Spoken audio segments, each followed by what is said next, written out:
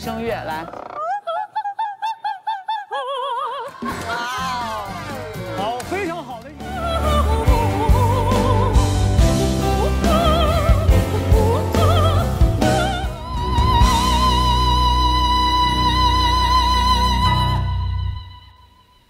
真的是你这个小坏蛋，哼，唱的那么好，哼，教教我呗。求你了，天我也想学美声。把穿进去，姐，哥，我也想学。你不要闹了，你已经唱的非常好。你别闹了啊！刚才在打电话吗？对，回回春，哼唱哼唱哼唱。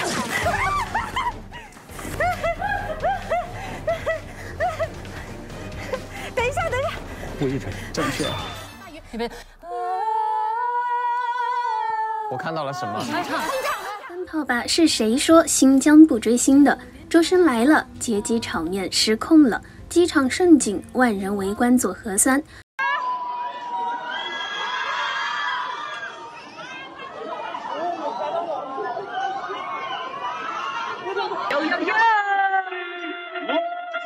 What's wrong with me, honey？如果你突然打了个喷嚏，那一定就是我在想你。如果半夜被手机吵醒，啊，那是因为我关心。周深，你是什么神啊？做个核酸都能上热搜。周星星，我也不想啊，这么多人盯着，真是比唱土鸡蛋还尴尬。不愧是唱高音的嘴，张得十分的标准，是不是好眼熟呢？之前看见米子们拿你张大嘴巴尖叫的图片做核酸表情包，这次终于看见真的了。希望周深在新疆能够玩得开心。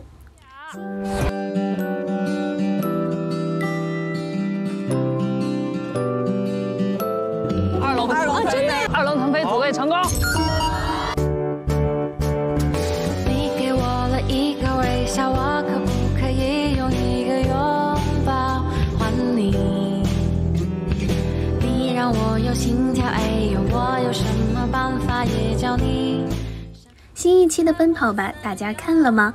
《奔跑吧》宋韵美食之旅开启，周深、袁娅维这一组合，这一期是被综艺之神关照的。在组词环节，周深和袁娅维两个人组队去找 JY 开头的词语。在想到金鱼之后，周深和袁娅维找了一家店，现场在池里开捞。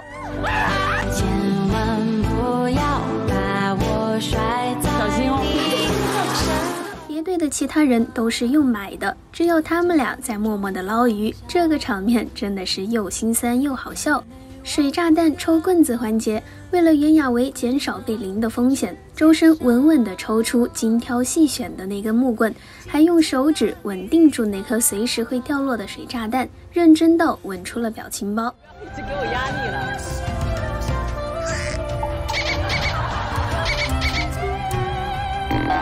是惊喜了吗，周深？雅集问答环节，周深和袁娅维因为回答错误，需要抽取架着水气球的棍子，但是他们俩的水气球好像被粘住了一样，棍子都快抽完了，一个球都没有掉，被锦鲤眷顾的两个人。但是最后惩罚的环节，周深还是幸运的成为那个品尝飞鱼果冻的人。知道 知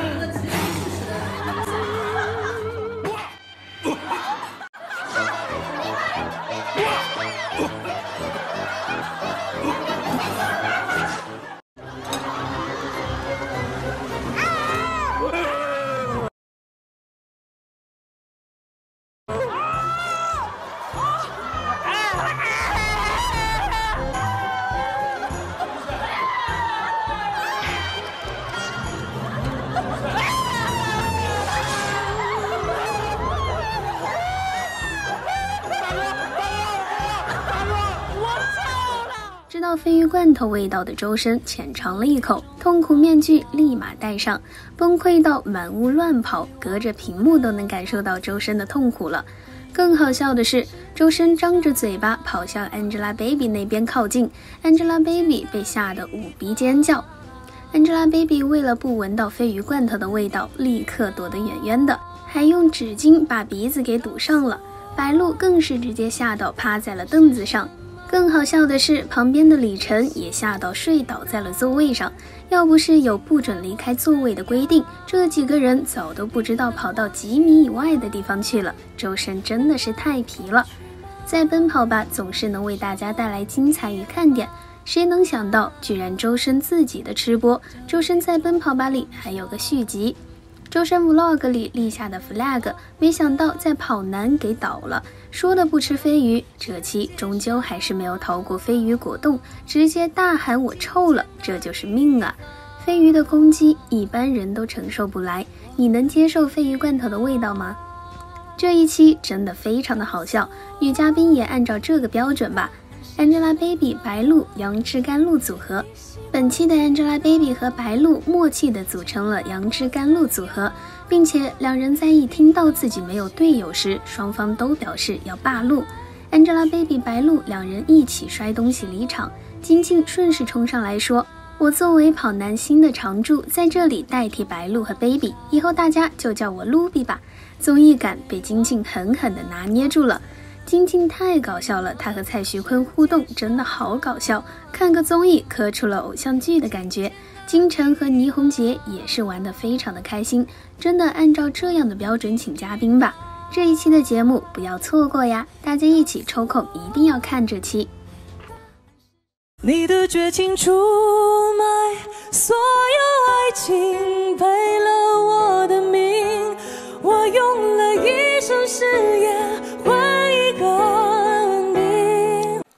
汤圆，卖汤圆，下家的汤圆是圆又圆。林海你老师，那我怎么办？请问一下，要买汤圆去哪个地方买呀？苏宁易购。哎呦。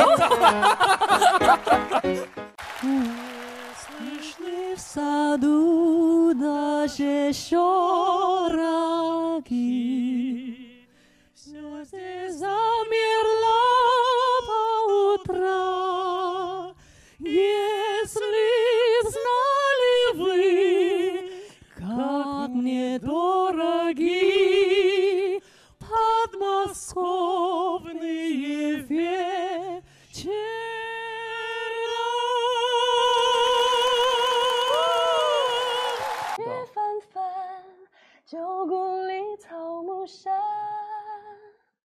我听闻你始终一个人，斑驳的城门盘踞着老树根，缘分落地生根是我们。满满的都是爱，想不到那么快遇见你，什么可以从当中先拿出一个产品来哦。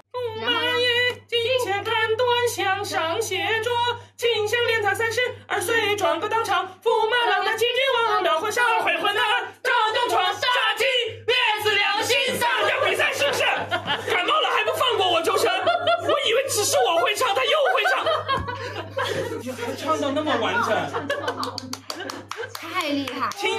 起来什么镜子照？